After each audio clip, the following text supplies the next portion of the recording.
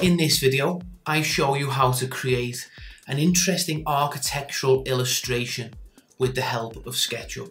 If you're like me and you're not the best at hand drawing, I've got a little solution for you with the aid of computer assistance and a little bit of tracing paper.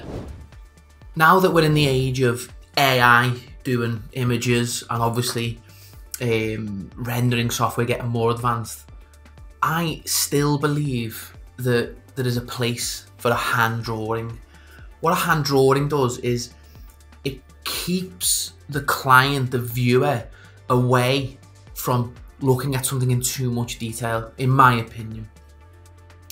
Hand drawings and illustrations, such as the ones that I've got on the screen now, they focus the eye on the bigger picture and the broad strokes, the concept.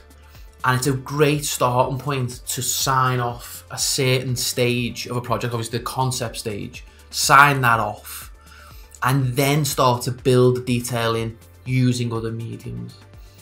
Now, I used to work for 12 months um, on my year out at BDP, one of the UK's largest and best practices. And I really liked um, the illustrations that some of the senior architects produced during my time there. So that was my starting point to just gain a point of reference. But in my search, I've then found a lovely illustration by a company called Periscope Studio. And what I'm going to do is I'm going to use that as a guide for this video. And then I'm going to explain how I would approach this illustration because to be brutally honest, I'm not the I'm not the best hand drawer in the world. And what I use is SketchUp to just give me a little lift on perspective, positioning people, sense of scale and things like that. I will then print that off, trace over it, bring it back into Photoshop. So I will use this illustration to talk you through my process for producing such illustrations. So let's get into it.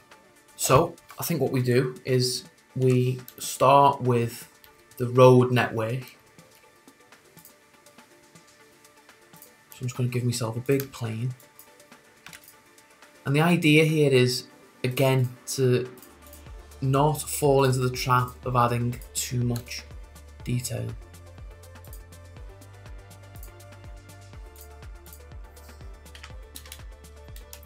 The road's normally six meters.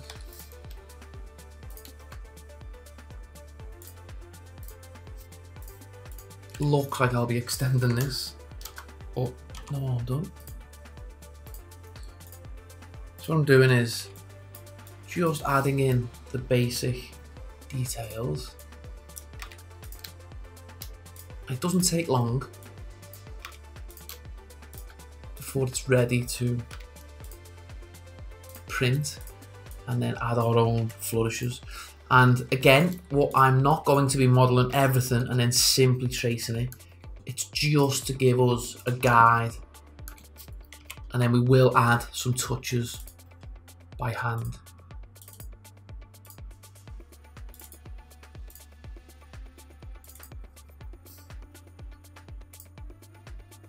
I will just add some shades to it.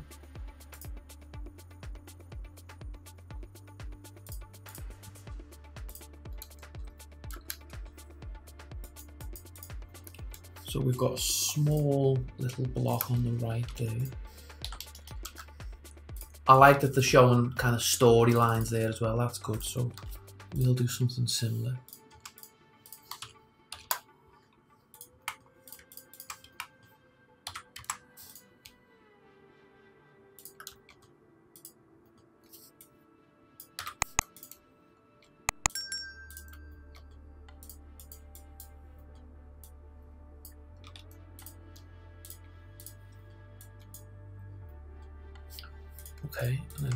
Then that one there so you can just see.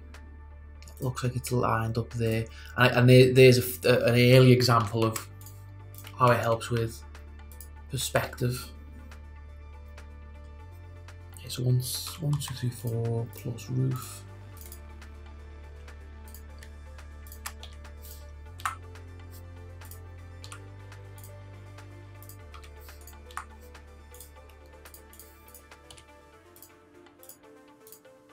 all this just takes a little bit of a little bit of the legwork out of it. And as I say, it ensures that you're getting your perspective and stuff spot on.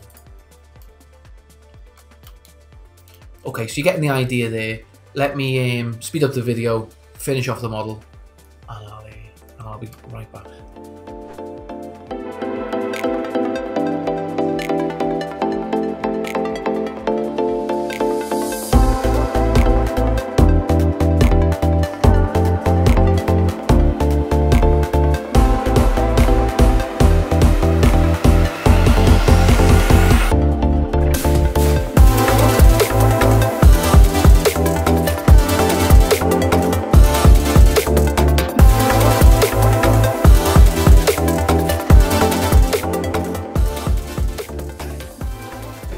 So we're all done with the model. I think it's quite a, an interesting piece of design. I've added a bit of transparency to the trees just so we've got that option if we need it. You can see the way they've used transparency in the illustration. I do quite like the style of the illustration as well. It's a little bit more abstract and probably what I, will go for. Um, you can see things, I've just dropped shrubs in, people in, all that sort of stuff. And I will put my own little style to these. It won't just be a straight trace. There'll be a little bit of interpretation. And you know, you can continue to just play with the trees, things like that. You could add a little bit more detail. Maybe um, just some of our frame lines, possibly here.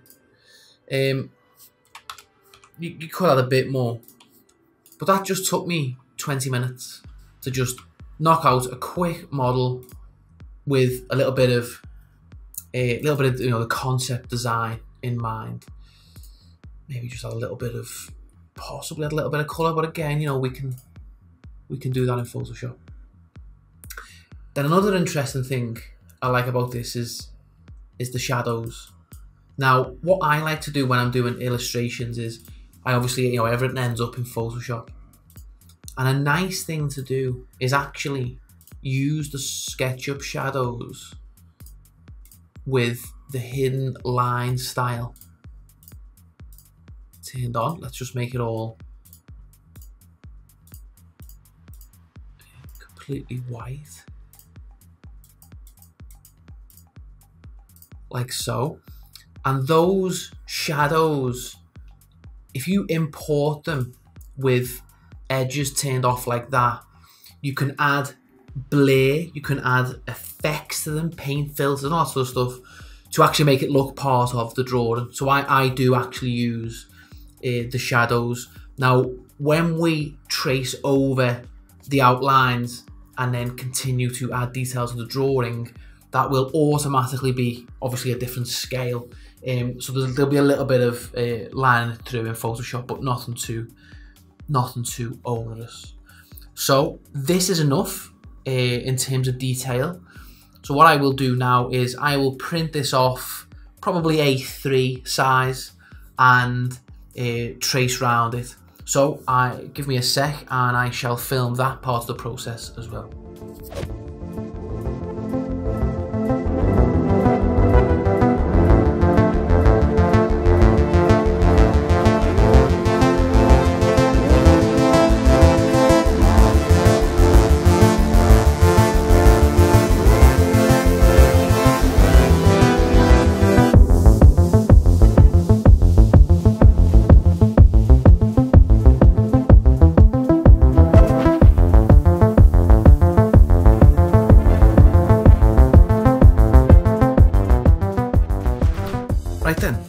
We're in, we're in Photoshop.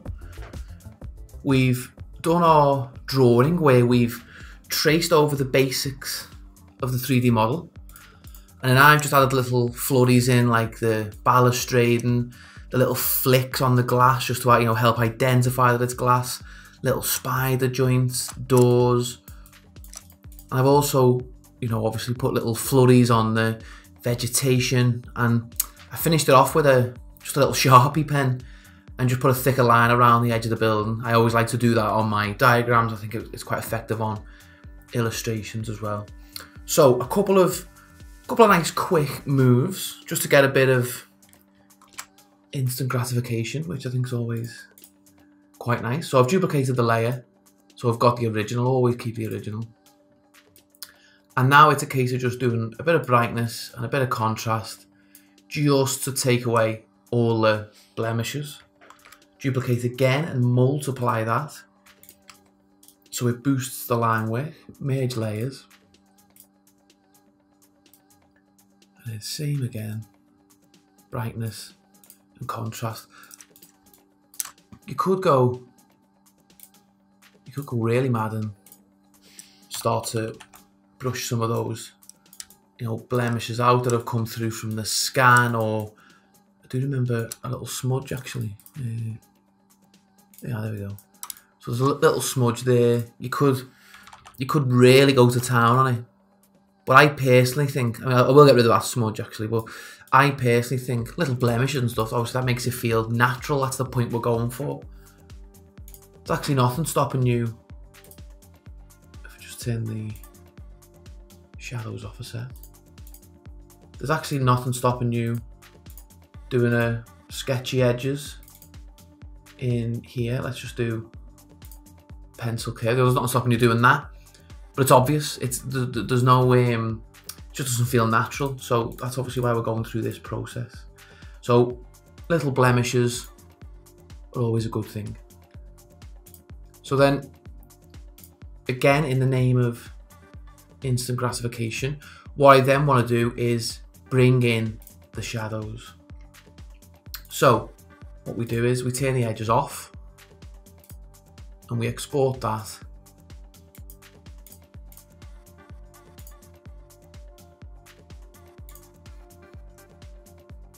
drop it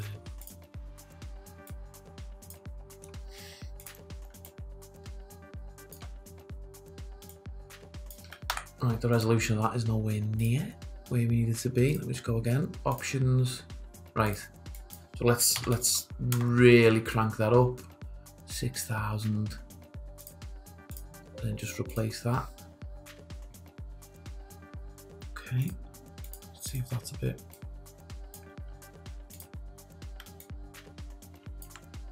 Right, there we go. We then want to sit it underneath and then apply and multiply to the one above so it just shows the line width and actually the scale of that isn't far off at all. You know what? It's not done though. It's actually not. So let me just do that again. See the way all it, it's it's just picking up the branches because I've made the the tree canopies transparent. So let's just let's just make them solid again, just so we're getting the shadows.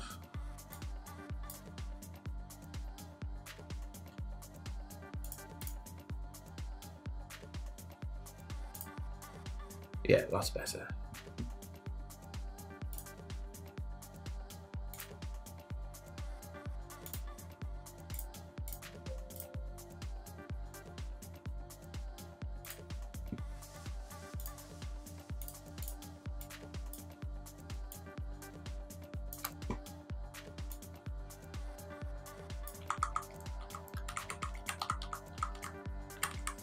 You could draw the shadows on, you know, in, in Photoshop, but I think, you know, why, why bother when, it, when you can do it that, that quickly. Then what I like to do to soften it is just a simple blur pass. Now you can go too much, that you know that is too much. I'm just looking back at that reference. So let's do something like that and then be careful with the level of transparency. I think that's 25% plenty. That's a good starting point. Let's make sure we save our PSD file.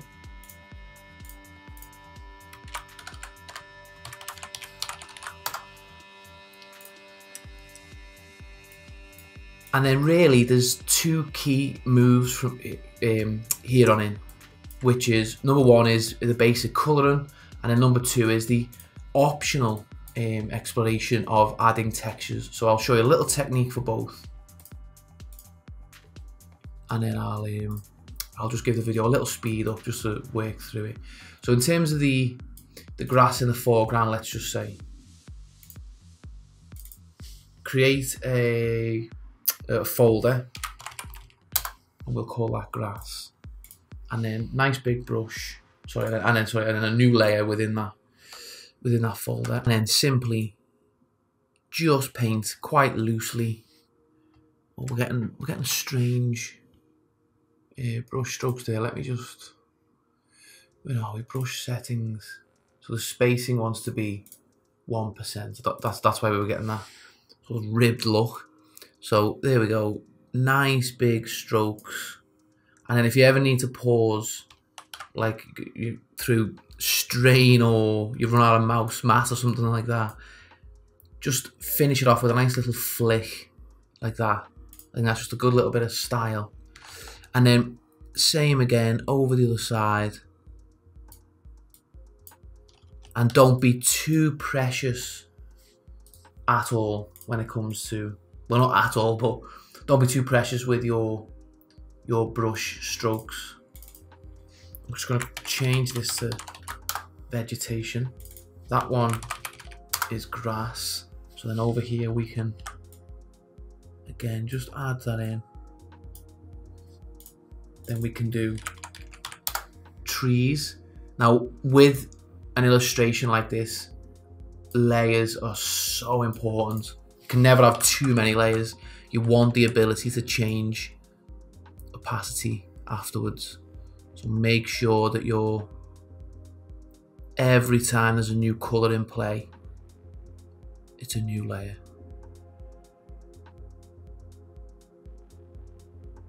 What I should have done there as well is let's just drop the shadows above. There you go.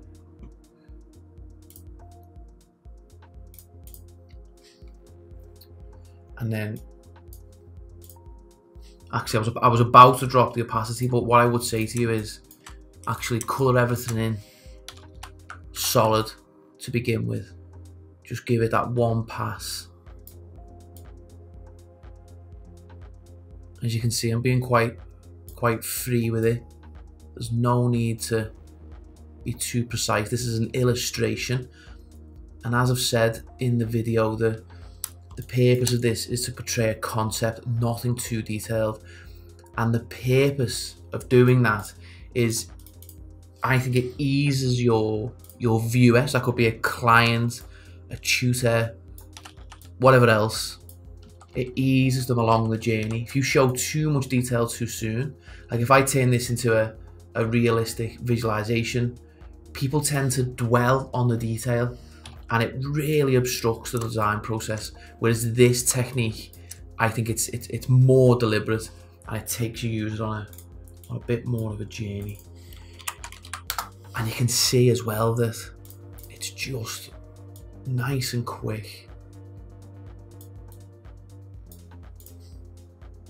Nothing too stressful. If anything, quite the opposite. I think it's quite a nice it's quite a nice experience this and it is again it is it's refreshing compared to all the other tools that are out there it is nice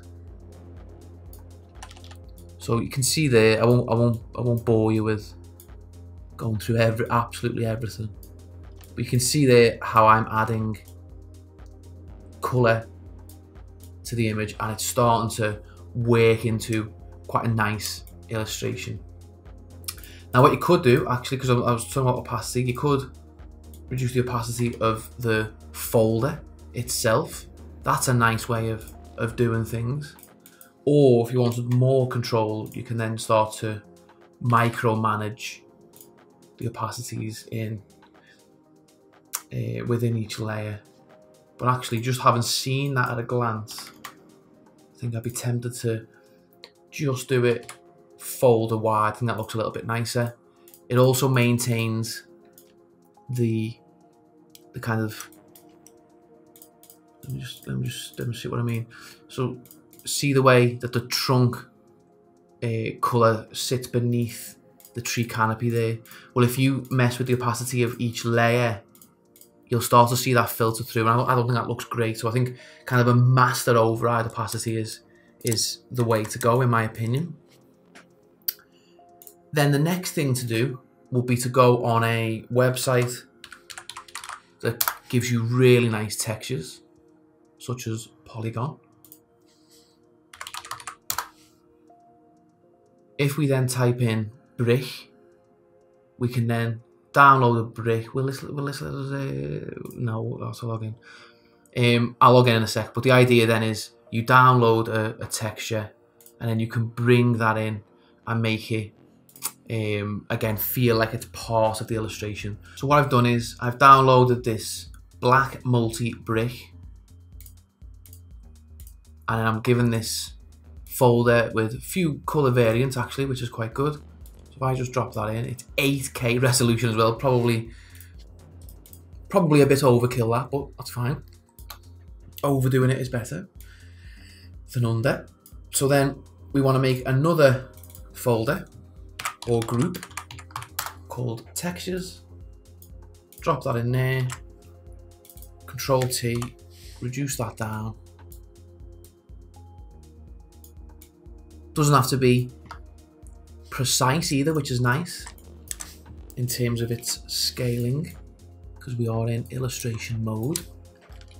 So I'm just duplicating it. And again, the, the, the beauty of those texture websites, such as Poliigon is that the textures are tiled as well. So you can just copy, paste, duplicate, all that sort of stuff, and you'll get um, a perfectly repeating texture. Notice, by the way, I've just spotted something here, which is actually a bit of a fluke, but it's, it's good to show. I didn't draw a vertical line there. But see the way the shadow was kind of doing that for me? I quite like that. So I'll, I'll, I'll leave that in.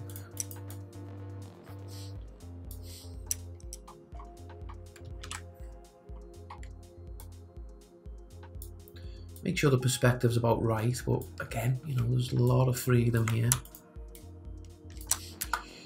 So something like that. And then what I would do is I was I would merge them. Uh, just a little thing I've I should have done first was let me just turn that to 50% and then rename that original brick just so we've got it to call on because I've now warped this texture and you know it can't can't be reused on another perspective. Um, so let me then just go around the edges like so.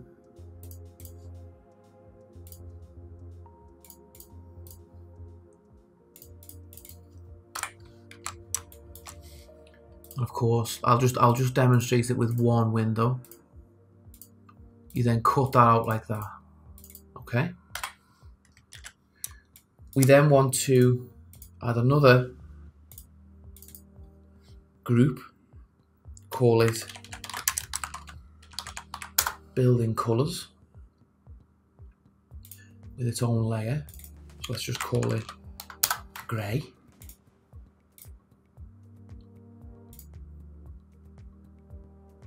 let's just drop the, let's just do the layer for now, drop the opacity of the layer.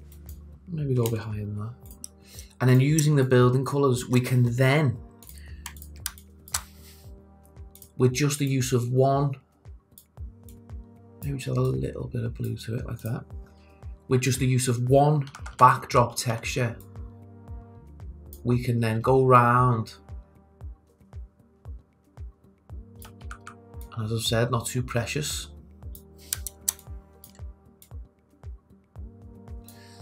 With your colouring in.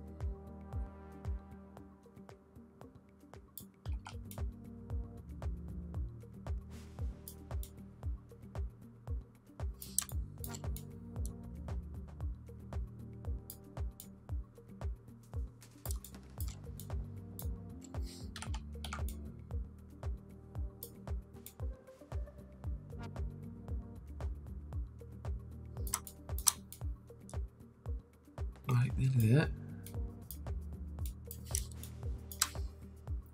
Now I'd probably, and again this is why, you know, groups and layers and everything are so important, I would drop the textures on top.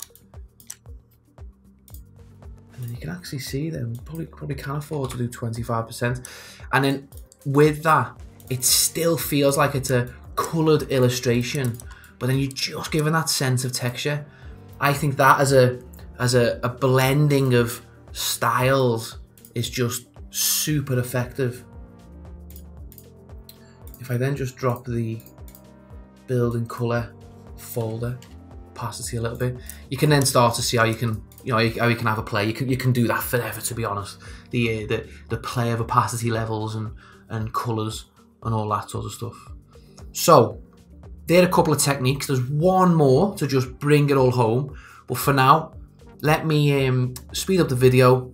I will get to work on applying all those techniques across the image and then we'll come back for just one last little finishing touch which is just adding little little detail shadows across the image I think we will have a, a half decent illustration there.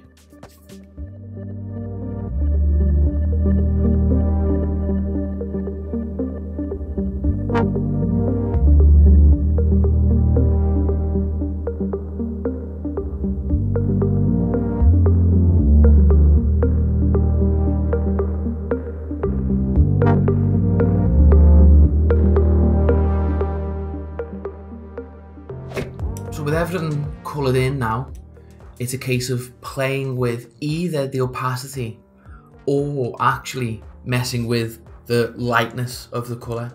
Now what I mean by that is, if we go into the glass, for example, and we play with the opacity, you will see overlapping in certain areas. I'm trying to find somewhere. Maybe we need to make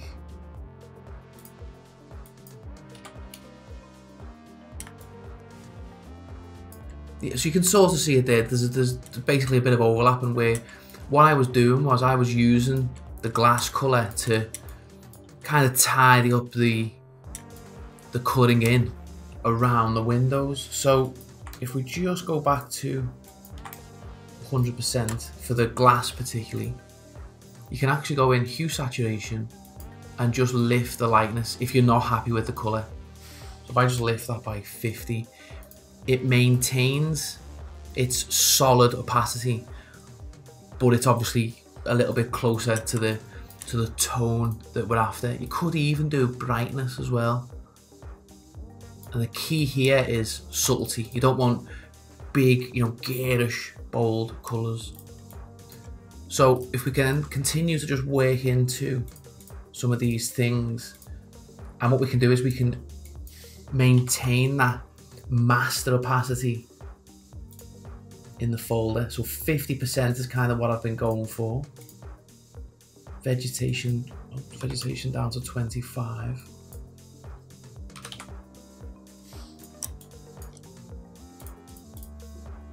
But say for example, we just want that timber to be lighter. My advice would be to not mess any further with the opacity and use the hue and saturation sliders because you can even you know you can adjust the color as well which works really well maybe just drop the textures to 35 so that gives you a bit of a, a bit of a sense of how you can change the colors and mess with the level of subtlety as well. Might even just drop that again. I always, I always tend to do that. I always end up going really transparent with it, or you know, almost like completely transparent, and then kind of waking it back up. So that'll that'll do for that sort of explanation of how to get to this point. And then one last little thing is I like to create just a folder called something like small shadows. Give it a layer, shadow brush. We want to, we do want to use a black brush because we want ultimate flexibility when it comes to um, playing with its opacity. And then it's a case of we know that the sun is coming from left to right on the image. So you can just add these little little kind of bonus details.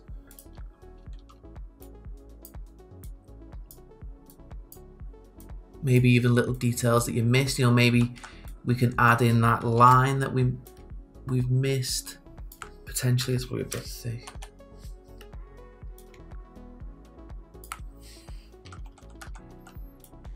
Around the bushes, we can you know add little kind of contact shadows with the ground. Maybe onto the people as well.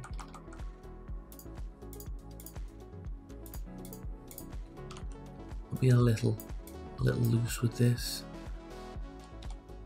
But again, we could just add a little bit of extra detail around there. Maybe a bit of shadowing in there.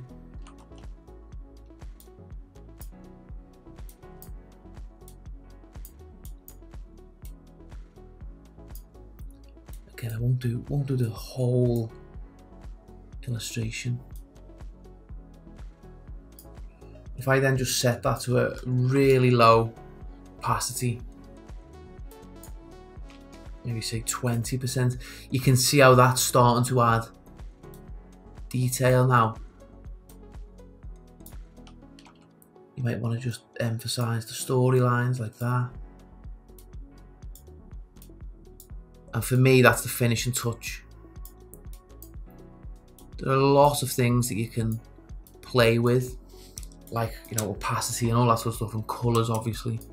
And then this thing just, just brings it home, that kind of secondary shadow layer, just to make it feel properly like an illustration.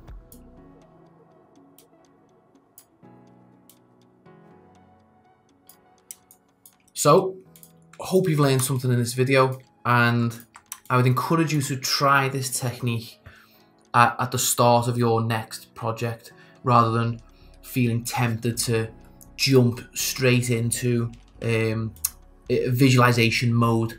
This is a great way of presenting early concepts. You can play with colors and texture, you know, very easily. Great way of demonstrating early concepts. And as I say, the point of this is it takes people on a journey rather than jumping into the detail too soon. So thanks for watching and any questions either leave them in the comments or drop me an email at adam at archademia.com.